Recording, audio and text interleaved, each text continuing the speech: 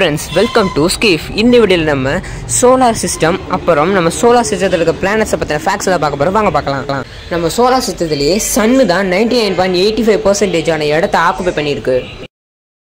நெப்டியூனில் அடிக்கிற காற்று தான் சோலார் சிஸ்டத்திலே ரொம்ப ரொம்ப வேகமானது. அதாவது two thousand four hundred kilometre per ஹாருக்கு வீசுமா. வீனஸில் இருக்கிற ஒரு நாள் எர்த்தில் இருக்கிற ஒரு வருஷத்தை விட ரொம்ப அதிகமான நாளாங்க.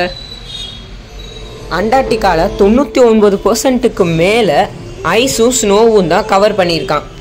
எர்த்தில் எயிட்டி பர்சன்டேஜ் வேல்குலமான உருவான இடம் தான் மூணுக்கு போயிட்டு வந்ததுக்கப்புறம் ஆஸ்ட்ரானட்ஸ் எல்லாரையுமே கொஞ்சம் நாளுக்கு தனிமைப்படுத்தி வைப்பாங்களாம். அது எதுக்குன்னு தெரியலை. பூமியில் நில அதிர்வு வரும் பொழுது தீ விபத்து வர்றது கூட வாய்ப்பு இருக்குது ஏன்னா நில அதிர்வு வரும் பொழுது இந்த கரண்ட் ஃபெசிலிட்டிஸ் இந்த கேஸ் லைன்ஸ் அது எல்லாமே கொஞ்சம் பிரேக் ஆகும். ஸோ அப்படி ஆகும் பொழுது ரெண்டுமே ஃபியூஸ் ஆயிடுச்சுன்னா தீ விபத்து வர வாய்ப்பு இருக்குது okay friends thank you for வாட்சிங் திஸ் வீடியோ இன்னும் நல்ல வீடியோ பார்க்கலாம். நம்ம சேனலை மறக்காமல் சப்ஸ்கிரைப் பண்ணிடுங்க பை